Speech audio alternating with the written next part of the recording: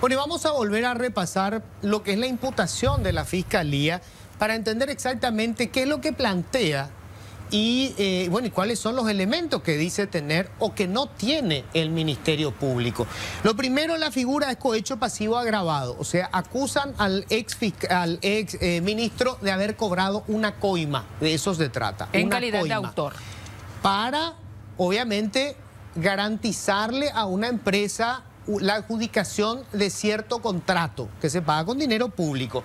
Y fíjense lo que dice, porque esto es muy importante.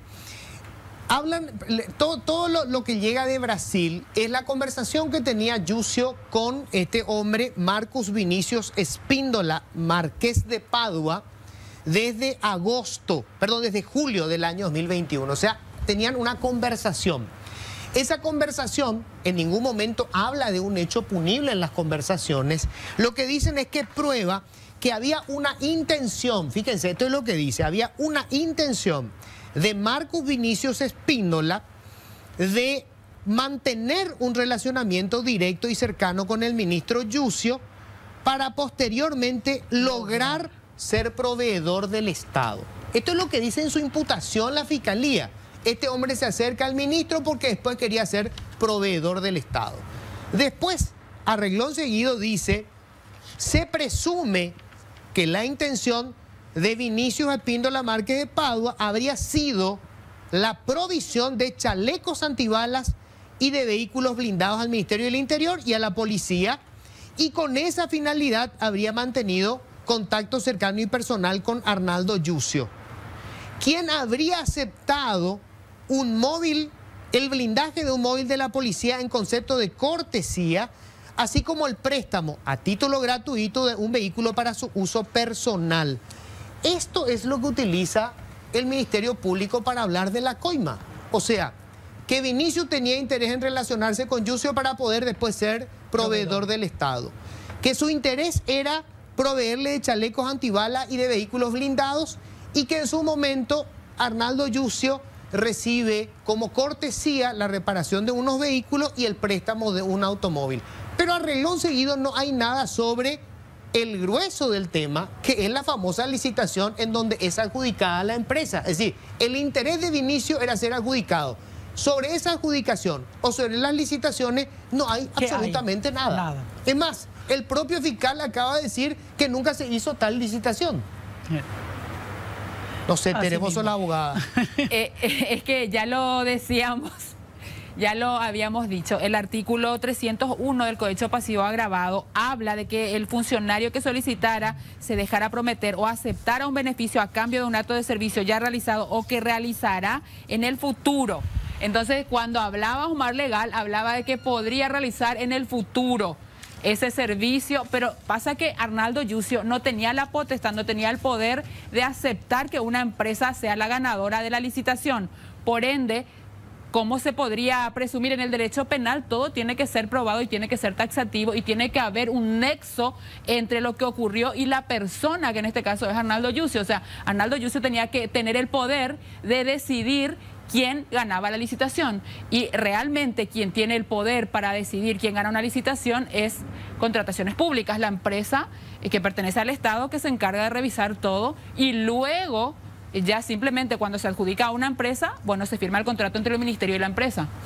Lo otro, eh, esta otra parte tiene que ver con hasta cuándo siguieron las conversaciones entre Yucio y este hombre, Marcus Vinicius, que es hasta el día antes en que el hombre cae. Hasta el 14 de febrero, se mantiene la comunicación y el 15 se realiza el operativo TURF en Brasil, donde cae Marcos Vinicius Espíndola Márquez de Padua. Marcos Vinicius Espíndola de eh, Márquez de Padua tenía una empresa que lo que hacía era blindar vehículos. Lo que estaba mostrado en Brasil, que él empezó blindándole, o sea, Dentro de su servicio empezó a blindarle los vehículos aparentemente a los narcos y después parece que terminó ya en el negocio de los narcos. Y él cae en el operativo Turf. Acá lo que dice que hasta el día antes de caer seguía conversando con Arnaldo Yucio. Y después, en la última parte, hay una inferencia que hace el Ministerio Público donde dice que como se hicieron reparar dos vehículos y uno era cortesía, presume presume el Ministerio Público que el otro se tuvo que haber reparado con dinero público. pero no encuentran ellos ni en la Dirección de Contrataciones Públicas ni en ningún otro lado hasta ahora de dónde salió la plata. O sea, ¿cómo se pagó eso? ¿Cómo se pagó y cuánto? Porque él sería, digamos, este servicio se adjudicó de manera directa porque había recibido el beneficio. O sea, allí sería lo de la coima, pero es una presunción. La presunción en el derecho penal es siempre a favor del reo. Es un principio básico. Eh, uno no puede decir, ah, yo presumo que tal cosa y por eso condenarle a alguien.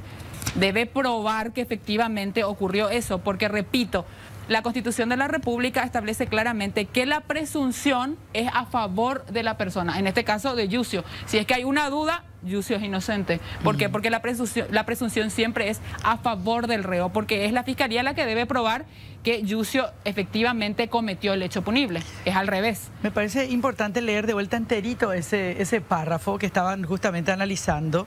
Dice, finalmente se debe tener en cuenta que estos hechos habrían acontecido conforme relata el Ministerio Público y lo cual permite sospechar que por los servicios brindados por Black Eagle S.A., Ombu S.A., representada en todo momento por Marcos Vinicius Espíndola Marqués de Padua, el Ministerio del Interior en la persona de Arnaldo Euclides Yucio Benítez habría utilizado rubros distintos a los destinados para la financiación de mantenimientos, blindaje y reparaciones de vehículos del Ministerio del Interior y la Policía Nacional. No dice cuáles son esos rubros distintos.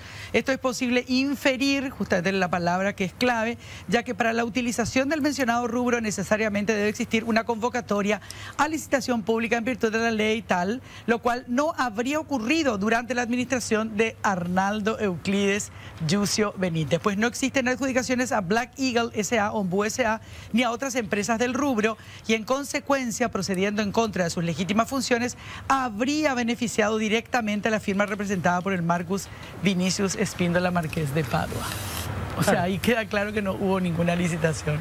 Claro, queda acá saber si efectivamente se, realizó ese, pago de manera directa, con dinero público y en, qué, en qué condiciones. Pero eh, a ver, lo que queda es que había una conversación frecuente entre el fiscal, o sea, perdón, el, ministro, del, Interior, Ronaldo Yucio, y esta persona.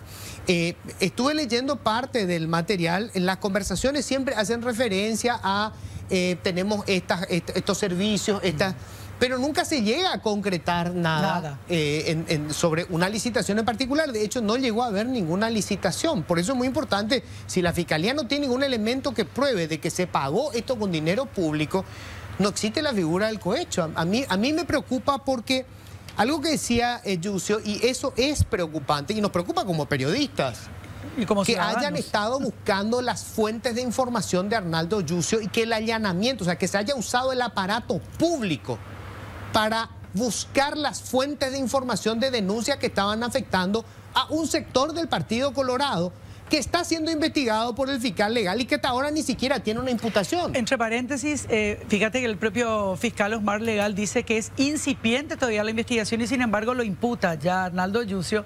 Y en el otro caso lleva cuatro meses ya la investigación, en, realidad varios meses, contra, en cuatro causas que tiene el expresidente de la República y justamente no lo imputa porque todavía no tiene los elementos y todavía es bastante incipiente. O sea, en algunos casos el que sea incipiente sí sirve para la imputación y en otros casos el que sea incipiente no sirve para la imputación.